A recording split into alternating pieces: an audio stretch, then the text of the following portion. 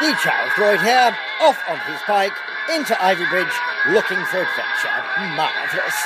It's the Charles Lloyd. Do it for the vine, Mum. Do it for the vine, Mum. No, I ain't gonna do it. Do it for the vine. No.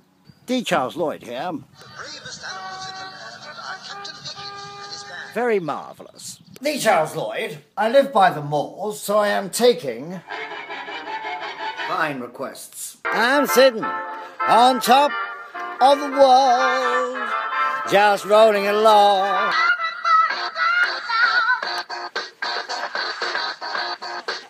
Marvellous.